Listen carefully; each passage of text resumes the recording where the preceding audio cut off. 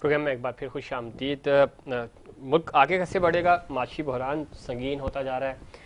हुकूमत बुरी तरह नाकाम हो चुकी है और इसका खुद जो हुकूमती टीम है, वो भी और वजी अजम भी एतराफ़ कर रहे हैं कि हम रिलीफ देंगे, अभी रिलीफ दे नहीं सके। रिलीफ कैसे देंगे, ये उनको भी नहीं पता। और साथ ही साथ, इस वक्त चूँकि जो उनके इतिहादी हैं, वो भी कह रहे हैं कि हम आपका साथ छोड़ देंगे, उनके साथ भी ज़्यादतियाँ हो रही हैं। उजमा किस तरह देखती हैं? चूँकि अब मामला जो है वो इस हकूमत के हाथ से निकलते हुए नज़र आ रहे हैं। आगे इलेक्शंस भी आ रहे हैं। छः महीने लगे आठ महीने लगे सात लेकिन इलेक्शन की डेट तो आनी ही है। जो इतिहाद है उसने भी वापस अपने अपने निशान से इंतबात लड़ने हम्म। आपको लगता है कि ये हुकूमत मज़ीद अगर असम्बलियाँ तहलील हो जाती हैं तो ये सर्वाइव कर पाएँगे?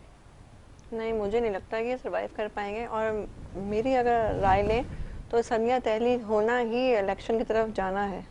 और इलेक्शन होना ही जो है इस वक्त मुल्क की बेहतरी की तरफ़ गामजन कुछ होंगी चीज़ें। क्योंकि इस वक्त जो सूरत हाल है ये कहते हैं कि हम आ, सुधार लाएँगे बिगाड़ पे। मगर ये देखें अपनी सिफारती इमारतें बेच के आप सुधार लेके आएँगे। आप भी जानते होंगे हमारी इमारतें जो हैं वो लोगों ने नज़रें हमारे दुश्मन ममालिक ने भी लगा ली हैं कुछ लोगों ने लगा दी तो नज़रें कि ये हमारा ये हमारा। आप आप खुद कुछ नहीं कर रहे हैं तो फिर आप चीज़ें बेच के तो ये चीज़ें देखें फिर वही बात आ जाती है कि खान साहब की घड़ी के पीछे ये फलसफे जो जारी हो रहे हैं तो आप वो घड़ी को छोड़ें आप अपनी जो है इमारतें बचाएँ हुकूमती बिकी हैं यहाँ पे आपके तो खातून का हार ही पूरा चोरी कर दिया आपने गबन कर दिया तो बताया ही नहीं खान साहब ने तो चलो उस उस पैसे से कुछ सदका जारिया तो किया रोड बनवाई कोई काम तो किया वही ना तोशाखाना के पीछे लोग लगे हुए हैं घड़ी इनको नज़र आ रही है आप ये देखें ना कि ये जो हमारे हुकूमती खजाने से पैसा गायब हुआ है इसका कोई जवाब देने वाला नहीं है। जवाब तो देखिए तो आए ना? आज सादर रफीक साहब कह रहे हैं कि नैब को खत्म ही कर दिया जाए और नया इदारा काम किया जाए। नैब बनाने वाले भी ये थे इनका ही प्रपोजल था मुस्लिम वही ना नगरी चौपट राज वाला ये हुकूमत का दौर चल रहा है। अपनी मर्ज़ी कुछ लग रहा अपनी मर्ज़ी के केसी बनाते थे भी खत्म कराते थे। लेकिन अब जरा एहतसाब कैसे होगा क्या होगा? इस वक्त तो अपने केसेस माफ़ कराए जा रहे हैं। अब असमा इस वक्त आज जो मुतादा समझ सामने आया साद रफीक साहब कह रहे हैं कि जी नैब को ही ख़त्म कर दिया जाए। न्याय दारा बनाया जाए। नैब इन्होंने बनाई। उस वक्त ज़्यादा प्रेशर टैक्टस होता था। मुखालफी के ऊपर केसेस बनाते थे। फिर उन केसेस के ज़रिए उनकी हुकूमतें गिराते बनाते थे। अब मामला ये है कि ये कह रहे हैं कि इस इदारे को ही ख़त्म कर दिया जाए। तकरीबन ख़त्म तो हुआ हुआ है। ज़ाहिर इनके केसेस माफ़ हो गए, चीज़ें हैं। फिर इतना, इसको इतना कंट्रोवर्शियल बना दिया है कि आप किसी का एहसाब आप कर ही नहीं सकते। सेकंड ये कि, और ये किसके कहने पे हुआ, ये भी एक अलग कहानी है। आपको लगता है पंजाब हुकूमत और के पी हुकूमत, पंजाब का तो खान साहब कह रहे हैं कि जी बार बार हम इसको सबसे पहले ये तहलील होगी, दिसंबर में ही होगी। असम्बली तहलील होने से पाकिस्तान तहरीक इंसाफ, जो कि एक मोमेंटम गेन कर चुकी है, माहौल बन चुका है, ज़ाहिर खान साहब इस वक्त मकबूल लीडर हैं पाकिस्तान के। आपको लगता है कि सियासी तौर पर फ़ायदा होगा या नुकसान हो जाएगा अगर जल्दी असम्बली तहलील हो जाती है? देखिए जितना टाइम इस गवर्नमेंट को दिया जाएगा ना उतना टाइम खान साहब की पॉलिटिक्स अभी तो उनका मोमेंटम है अभी तो वो एक हाई वेव राइज कर रहे हैं उनकी पॉपुलैरिटी इस वक्त स्काई राइज है। बहुत ही शायद क्या कहते हैं टर्न ऑफ़ इवेंट जो उनको की वजह से जो उनको गोली लगी उसकी वजह से अब खान साहब की टुवर्ड्स लोगों की अफेक्शन और लोगों की अटेंशन और लोगों का फोकस मुख्तलिफ़ ही है। मतलब जो अभी उन्होंने ये मरी रोड का जो कल्बिनेशन अपनी लॉन्ग मार्च की की, वो मेरे ख्याल से खान साहब के लिए भी सरप्राइज़ था। हम लोगों के लिए तो सरप्राइज़ था ही, लेकिन वो turn out that was surprise for Khan साहब इज़ वेल तो उनके पास अभी इस वक्त ये उनका आइडियल टाइम है, लेकिन अगर इस गवर्नमेंट को वो टाइम दे देते थे जैसे ये निगोसिएशन और एक नॉन सीरियस एफर्ट चल रहा है कि निगोसिएशन में एंगेज रखे और उन्हें किसी तरीके से किसी उसमें मनूवर करके गेम से आउट कर दिया जाए। ये पूरा का पूरा गेम प्लान इस तरह से चल रहा है इस तरह लेकिन वो एग्जीक्यूट करना चाह रहे। खान साहब जितना टाइम इन्हें देंगे उस लिहाज से तो वो सेफ़ हो जाएँगे। मैं हमेशा कहती हूँ कि पीटीआई अपने खाते बहुत स्ट्रेट रखती है। उस तरह से शायद वो उस चीज़ को अवॉइड कर सके। लेकिन अगर ये इकोनॉमी डिप कर जाती है ना और इसके बाद खान साहब को ये गवर्नमेंट पकड़ा देते हैं कि जी अवाम ने आपको सिलेक्ट कर लिया अब आप ले संभाल। तो जैसे एक ओरिएंटेशन है मीडिया की खान साहब को तो इवन शायद सौ दिन का हनीमून पीरियड भी ना मिले गवर्नमेंट में।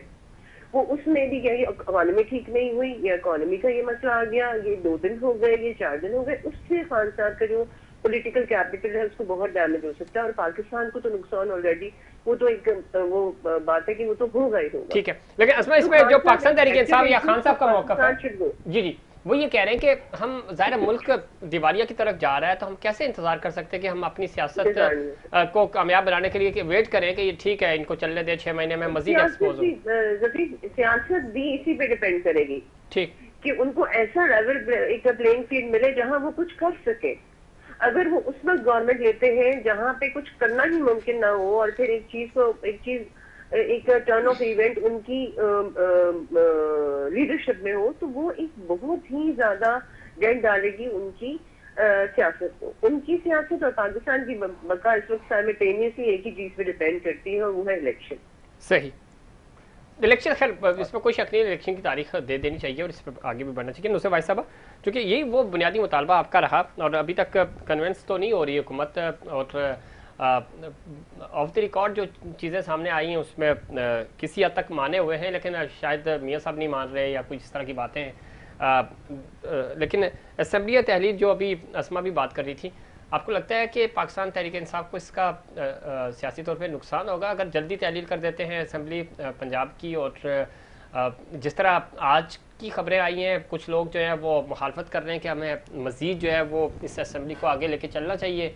आ, कुछ ये कह रहे हैं कि नहीं हमें तहलील कर देनी चाहिए तो आ, इसमें भी डिवीज़न है। आ, आप क्या समझती हैं अपने तौर पे? और ओवरऑल ज़ाहिर पार्टी खान साहब फैसला करेंगे। परवेज लाई साहब ये कह चुके हैं कि मैं साथ हूँ आपके जो खान साहब फैसला करेंगे वही होगा लेकिन मेरी राय ये है कि इसको थोड़ा सा कंटिन्यू करना चाहिए ताकि हम मार्च तक इसको आगे लेके जाएँ। आप क्या समझती हैं कि फौरी तौर पर असम्बलियों से बाहर आ जाना चाहिए? देखिए मैं समझती हूँ इस हुकूमत को जितना टाइम देंगे ना उतना ही पाकिस्तान के लिए डेंजरस होता जाएगा। टाइम देने का मकसद उनका परवेज लाई साहब का सिर्फ़ ये है कि मैंने जो प्रोजेक्ट शुरू किए हुए हैं वो मार्च तक ख़त्म हो जाएँगे। तो मैं चाहता हूँ कि मेरे बनाए हुए प्रोजेक्ट जो हैं वो कम्प्लीशन की तरफ़ चले जाएँ। लेकिन बात यहाँ पे ये आती है कि जब हम अभी से सिफर हो गए हमारी इकोनॉमी इस साथ मतलब हम ऑलमोस्ट डिफ़ॉल्ट होने वाले हैं या हो चुके हैं आई डोंट नो क्या। है तो उसके बाद फिर प्रोजेक्ट्स के लिए पैसे और फला चीज़ के लिए पैसे कहाँ से आएँगे? अगर जितनी जल्दी असम्बली से निकल जाते हैं और इलेक्शन हो जाता है तो मैं समझती हूँ कि वो पाकिस्तान के लिए बहुत बेहतर होगा और खान साहब बगैर विजन के बात नहीं करते। देखिए, आज तक उन्होंने जितनी बातें की हैं, लोग तो ये कहते थे कि जी, उसको सियासत नहीं आती, सियासत नहीं आती। एक अकेला आदमी तेरह जमातों के आगे खड़ा है और किस तरह डट के खड़ा है। कि चार गोलियाँ मार दी उसके बावजूद वो वहीं का वहीं है। उसके उसमें ज़रा सा भी फ़र्क नहीं आया किसी किसी भी पॉइंट ऑफ़ व्यू से। आज मैं आपको एक खबर सुना दूँ। जी। बहुत इम्पोर्टेंट है। अभी शाम को मैंने खुद भी सुनी है एक बहुत मतलब चैनल से। नवाज़ शरीफ साहब ने बताया है कि वो फिफ्टी बिलियन डॉलर यहाँ देखे गए हैं। और उसके हिसाब से प्लान बनाया गया उनकी बीमारी को किस तरह किया गया कितनी मुश्किलें मतलब वो दिखाई दी कि भाई पता नहीं क्या होने वाला है कौन मरने वाला है कौन जीने वाला है क्या क्या करके उनको निकाल दिया गया। तो ये इतनी बड़ी बात है कि किसको मिले हैं वो? ये पता करना रह गया है कि किसने लिए हैं वो। फिफ्टी बिलियन डॉलर उनको बाहर भेजने के। आप सोचें आपको क्या लगता है नुसर भाई साहब जरा बहुत बहुत बड़ी बात कर रही हैं आप। आपको क्या लगता है कि किसको दिए होंगे और किसने उनकी राह हमवार की होगी बाहर जाने के लिए? आपको पता ही है। किसने रामवार की है। मैं अब नाम क्या लूँ? नहीं उसमें तो देखें उस वक्त अदालत ने भी कहा आपकी पंजाब में हुकूमत थी डॉक्टर यासमीन राशिद वो थी। नहीं ये ये सब चीज़ें ये सब चीज़ें इनको छोड़ दें डॉक्टर यासमीन राशिद अच्छा। वो जो मेडिकल बोर्ड था जिसमें फैसल साहब भी थे हमारे हॉस्पिटल के शौकत खानम के और डॉक्टर यासमीन भी सब कुछ लेकिन एक बहुत इंपॉर्टेंट चीज़ है वो ये कि नवाज़ शरीफ साहब ने आज तक किसी और डॉक्टर को अपने आप को नहीं दिखाया। फिजिकली किसी आदमी ने उनको नहीं देखा। जो ब्लड टेस्ट बाकी चीज़ें ये वो उन्हीं का वो जो कंपाउंडर नुमा डॉक्टर है ना वही करता था और वही ला के सारी रिपोर्ट्स इन लोगों को देता था कि अब ये होगी अब ये होगी तो वो तो प्लान था यार सबको पता उस वक्त भी शायद कुछ लोगों को तो पता ही होगा इतना तो मासूम कोई भी नहीं है कि उसको ना पता हो कि क्या हो रहा है क्या नहीं हो रहा है। लेकिन बस वही है कि आँखें बंद करने का हुक्म होगा तो आँखें बंद कर ली गई और उनको भेज दिया गया। बस इतनी सी बात है।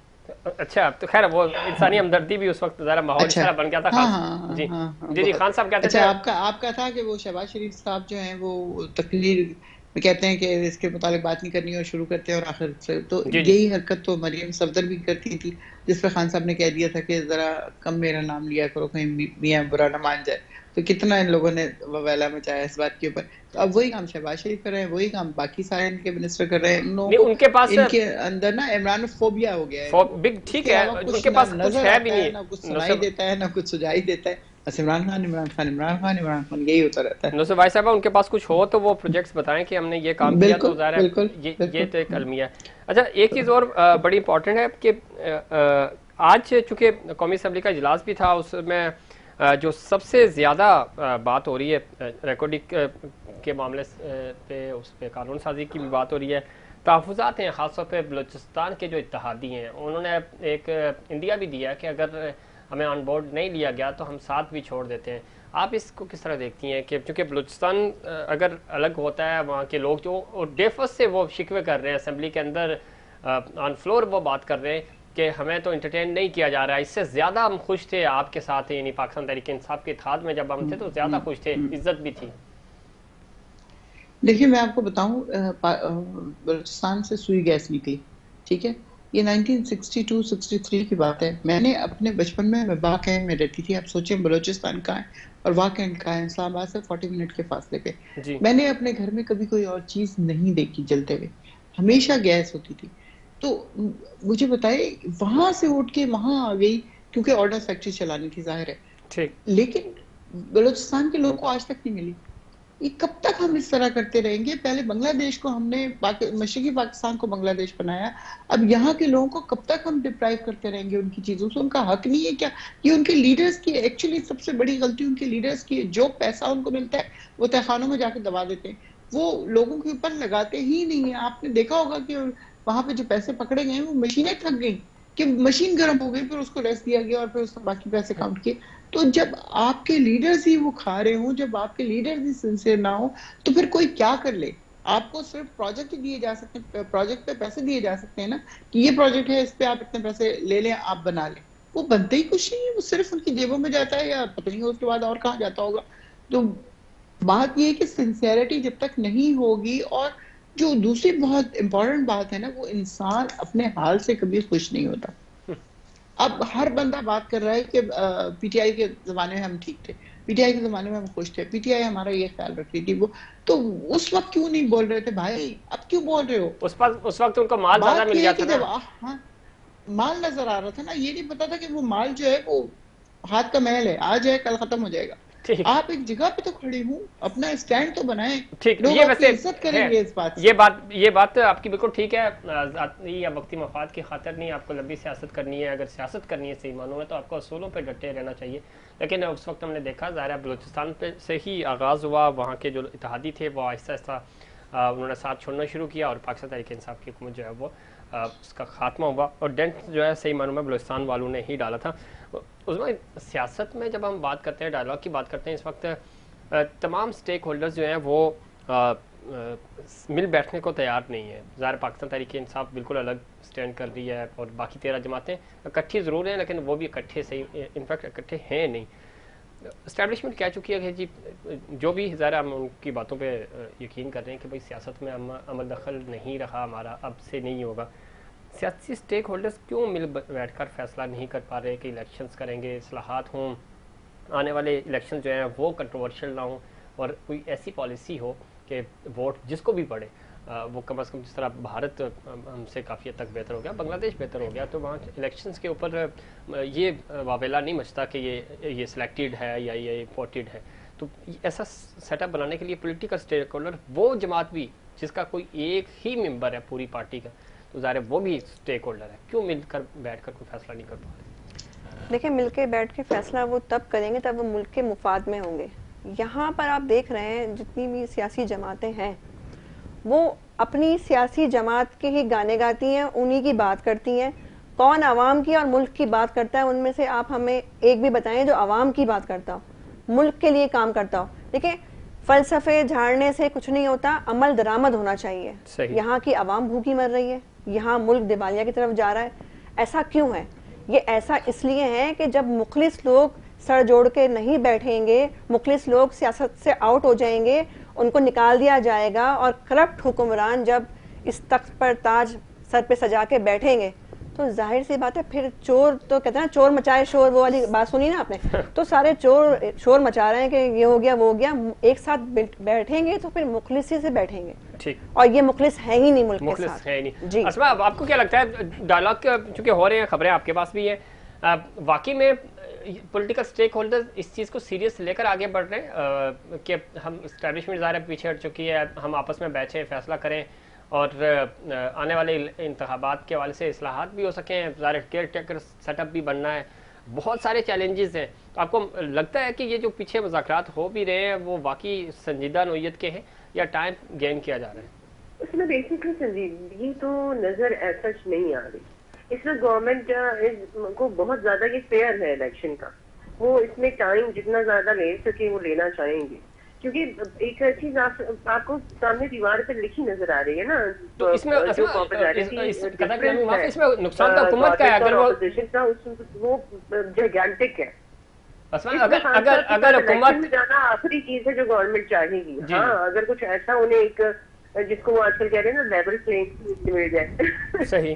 लेवल प्लेइंग फ़ील्ड की तलाश में वो टाइम बिल्कुल इसमें ना उसको वेस्ट कर रहे हैं कि हम किसी तरीके से इस जार से निकले और हम आगे जाए। और इसी वजह से वो खान साहब को छोटी छोटी छोटी छोटे अनफुलफिलिंग टारगेट देते हैं कि हम यहाँ पे दो हफ़्ते दस दिन पंद्रह दिन तीस दिन।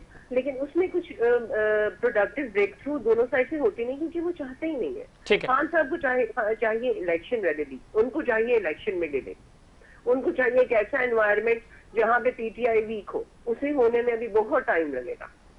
उसे होने में खान साहब को पहले गवर्नमेंट जाना पड़ेगा लेकिन असमा इसमें इसमें जो आप बात कर रही है लेवल प्लेइंग फ़ील्ड की बात हो रही है खान साहब को कमज़ोर करने की बात हो रही है एक ही एक एरिया है जहाँ पे खान साहब कमज़ोर हो सकते हैं या माइनस हो सकते हैं वो ये तोशा खाना केस और ख़ास तौर पे अगर खान साहब नायल हो जाते हैं तो ये वो मामला है जहाँ पे वो कैसे अदरवाइज़ अगर ये एक साल भी डिले कर देते हैं जो कि हम पिछले कई दिनों से ये खबरें सुन रहे हैं कि वो कह रहे हैं कि हम तो तोशा खाना की करप्शन तो इससे पहले वो करप्शन की ऊपर वाली टिप होती थी ना जिससे हम कभी कंसिडर ही नहीं करते थे। जी जी। इससे पहले के हुक्मरान जो कर चुके हैं वो तो देख देख वो, वो केसेस हैं ऑलरेडी केसेस लगे हुए हैं वो उसमें अगर फैसला आ गया तो ये सारे माइनस हो जाएँगे। जी और ये ये बेसिकली एक ऐसा चीज़ उन्होंने टेबल की है जो एक लीडर की क्रेडिबिलिटी में ये खुद फंसेंगे उसमें। बिल्कुल ठीक है। दूसरा फॉलो उनकी फॉलोअर कह रहे हैं कि देखो कुछ नहीं तलाश कर सके तो देखो दोषा खाना वो भी उसकी अपनी घड़ी जिससे उसने खुद बेचा जिसे डिक्लेयर किया। ठीक है। तो अच्छा ये एक बड़ी सिर्फ़ ये बात है कि भाई अमेंडमेंट हो गई थी और वो चूँकि एनरोल 2018 के हिसाब था और 2018 के हिसाब से कीमत पे हुई। कॉम्प्लेक्सिटीज अपॉन कॉम्प्लेक्सिटीज लेकिन people are not buying it ठीक। बिल्कुल ऐसा ही हुआ और असमा चुके वक्त खत्म हो रहा है आखिरी आखिरी पॉइंट आपने लेवल प्लेइंग की बात की। पाकिस्तान क्रिकेट टीम ने भी क्रिकेट बोर्ड ने इनफैक्ट पिंडी की विकेट जो है बड़ी लेवल प्लेइंग बनाई थी तो वो उल्टी पाकिस्तान टीम के ही गले पड़ गई। तो ये लेवल प्लेइंग क्या है? हुकूमत के ही गले ना पड़े। चलिए ठीक है। नसर भाई साहब वक्त चूँकि खत्म हो रहा है आखिरी पॉइंट आपका। एक तो माइनस इमरान खान क्या कोई पॉसिबिलिटीज़ हैं? बाज़ार तो नहीं लग रहा कमज़ोर केसेस हैं। दूसरा ये कि सियासी डायलॉग और अब ज़रा इस्टेब्लिशमेंट कह चुकी है आपको लगता है, चूँकि आरिफ अलवी साहब के साथ बड़े अच्छे मुरासिम हैं आप उनको जानती भी हैं, बड़ा आपने उनके साथ काम भी किया है। वो पिछले तकरीबन कोई चार छः महीने से तो बड़ा अच्छा काम कर रहे हैं मफामत की बात कर रहे हैं डायलॉग की बात कर रहे हैं, सबको ऑन बोर्ड करने की कोशिश कर रहे हैं। लगता है कि संजीदा, संजीदगी से हुकूमत इस पूरे अमल को लेगी, चूँकि हुकूमत की तरफ़ से बड़े जारहाना बयान आते हैं। देखिए, मैं जहाँ तक आरिफ अलवी साहब सदर ममलिकत की बात है, वो इंतहाई सिंसियर हैं पीटीआई के साथ।